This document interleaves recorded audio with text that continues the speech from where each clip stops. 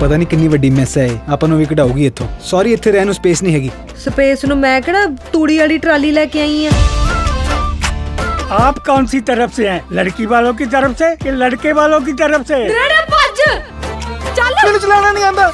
ਵੀ ਜੱਟਾ ਦਾ ਮੁੰਡਾ ਤੇ ਉਹਨੂੰ ਬੁਲਟ ਚਲਾਉਣਾ